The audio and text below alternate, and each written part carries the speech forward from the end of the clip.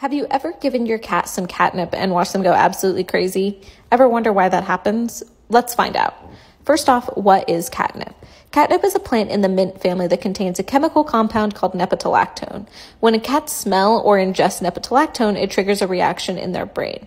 Specifically, it binds to receptors in the olfactory bulb, which is responsible for processing smells, and the amygdala, which is responsible for regulating emotions.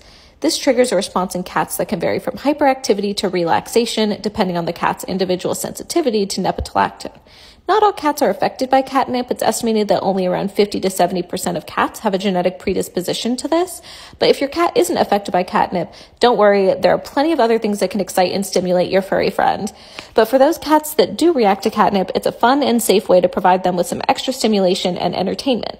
So next time you see your cat going crazy over some catnip, remember that it's all thanks to nepetalactone and their response to it.